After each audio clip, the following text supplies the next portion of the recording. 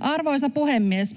Elpymisväline on suoraa tukea reaalitalouteen. Sillä luodaan kestäviä investointeja ja työtä kriisin keskellä. Tämä on ollut meille kynnyskysymys.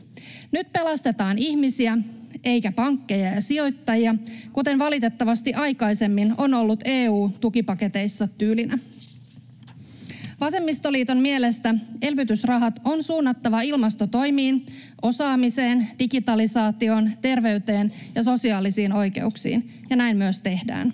Suomen kestävän kasvun ohjelmalla hallitus vahvistaa niitä hyvinvointiyhteiskunnan ja talouden perusedellytyksiä, joiden nojalla Suomi voi nousta koronakriisistä entistä vahvempana.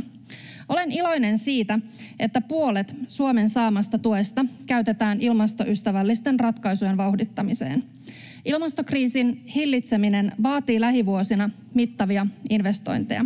Samalla kun hiilijalanjälkeä pienennetään, voimme kasvattaa Suomen hiilikädenjälkeä maailmalla kehittämällä uusia ilmastoratkaisuja.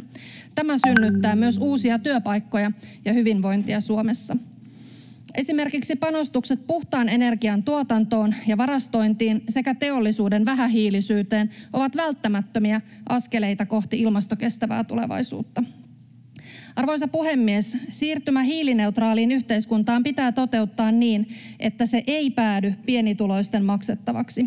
Vasemmistoliiton ajama reilu siirtymä on oikeudenmukainen ja huomioi ihmisten erilaiset lähtökohdat ja tarpeet niin maaseudulla kuin kaupungeissa.